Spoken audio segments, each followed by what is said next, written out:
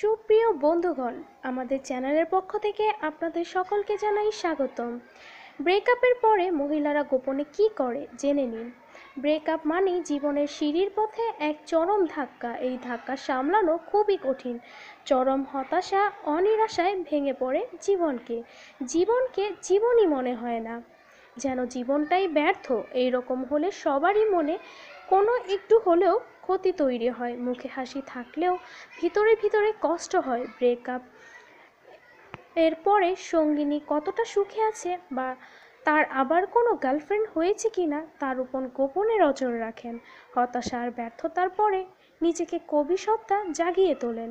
সে কবিতা পড়ার মতো নাও হলে নিজেদের কবি ভাবতে থাকেন। ভিতরে কষ্ট হলেও সোশ্যাল মিডিয়া ও বন্ধুদের সামনে নিজেকে এমনভাবে প্রকাশ করেন যেন তিনি মুক্ত বিহঙ্গ। প্রাক্তন প্রেমিকের উপর যত ক্ষোভ চেপে রাখার পরে বন্ধু, বিশেষ করে পুরুষ বন্ধু কাছে নিন্দা করেন। যদিও মনে মনে কিন্তু অন্য কিছুই ভাবেন, মদ্যপান করলে নাকি কষ্ট কমে। এই ধারণা থেকে ব্রেকআপের পরে একবার অন্তত মদ্যপান করে থাকে মহিলারা। সোশ্যাল মিডিয়ায় এই সময়ে ভরসা।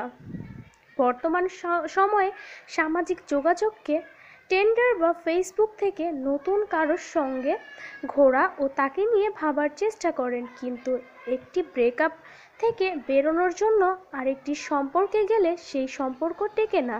কারণ এই নতুন সম্পর্কটি আশ্রয় মাত্র। আশ্রয়ের প্রয়োজন শেষ হয়ে গেলে সম্পর্কও শেষ হয়ে যায়।